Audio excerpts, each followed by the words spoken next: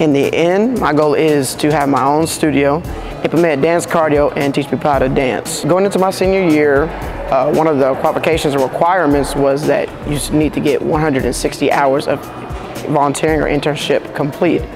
So then I spoke to my professor and she told me about the opportunity here at the Bill Bartley YMCA. So my supervisor has been quite busy, but he requires me to check on the facility, maintenance. So I'll make sure that any equipment needs to be replaced, repaired, fixed. I would just let him know, or I check, make sure that no members end up getting hurt or injured, you know, try to prevent horseplay.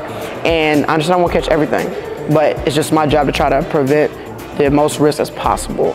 And then I also check with members and I interact with them to make sure that they're enjoying their stay, their membership here at the YMCA. I've actually enjoyed how my supervisor has conducted things. He has shown me the ropes of how things are gonna happen here at the YMCA. He has also gave me great lessons and advice and tips on how not to try to overdo certain things. You're not gonna change everything in one night. So have more of a, a more calculated, but at the same time, calm approach to how things are going to be. Before I even started here, I didn't know what YMCA was. So coming here, I got an idea of what it's like, the members that attend this type of facility, and I believe it's been a life-changing experience, and I would love to continue working here in the future if that opportunity presents itself.